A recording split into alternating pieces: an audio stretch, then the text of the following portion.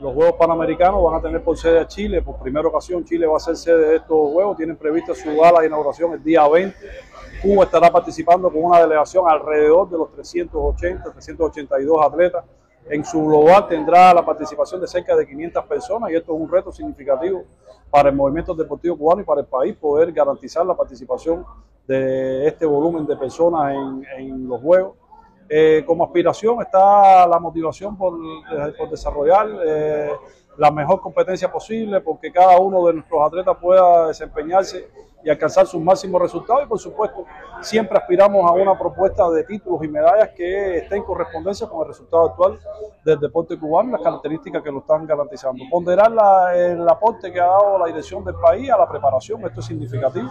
Nuestros centros de entrenamiento cuentan con todas las condiciones, digamos, desde el punto de vista de la, de la alimentación, las condiciones básicas para el descanso de nuestros atletas y por supuesto esperamos de ellos el mejor resultado y la mayor eh, entrega posible en cada una de las competencias. Los juegos van a concluir el día 4 y el 5 es está diseñada la clausura. Los grupos estarán entrando y saliendo a la sede de competencia en correspondencia con los programas, 48 horas antes o 24 horas después, y sin duda 18 deportes estarán dando clasificación a los Juegos Olímpicos, lo cual tiene un incentivo adicional, además de la participación y la obtención de títulos y medallas.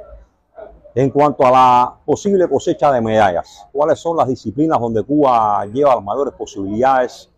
Y bueno, algo que nos quiera eh, adelantar con respecto a, digamos, los rivales, o sea, las principales naciones que van a luchar junto a Cuba en esa vanguardia en la tabla de medallas. Bueno, como en todos los eventos multidisciplinarios, hacemos un balance y un estudio de nuestras reales posibilidades. Estamos eh, estudiando y hemos validado que en el entorno de 18 o 22 medallas sería la cosecha de títulos que pudiera estar eh, disponible para nuestra delegación a partir del desempeño de cada uno de nuestros atletas, luego de haber cumplido sus rutas críticas planificadas, pero siempre confiado en, en lo que distingue al cubano, que es la entrega máxima en cada una de estas actividades a partir del cumplimiento de estas metas, el lugar de la delegación que pudiera estar entre el sexto, séptimo lugar, el quinto lugar, a partir de ir, ir cumplimentando con estas características. No desestimar ninguna posibilidad, nos entregaremos ahí, haremos todo lo posible porque nuestra delegación alcance el mejor de los, de los resultados y más allá de la obtención de títulos y medallas, ponderar que es una delegación numerosa, que el esfuerzo que ha hecho el país por clasificar a tantos atletas y no limitar a nadie de poder llegar a este tipo de competición que se desarrolla, recordemos, en un contexto atípico con tres eventos multidisciplinarios en un mismo año, algo que sin duda marca un hito en la historia del deporte cubano. Con relación a las estrellas del deporte cubano, se sabe que no estará Mijaín, que sigue enfocado en estar en los Juegos Olímpicos de París, enfoca su preparación para eso sería una gran hazaña. Del Tahuandoca, Rafael Alba, que está lesionado. Todas las demás estrellas del deporte cubano estarán presentes en Chile.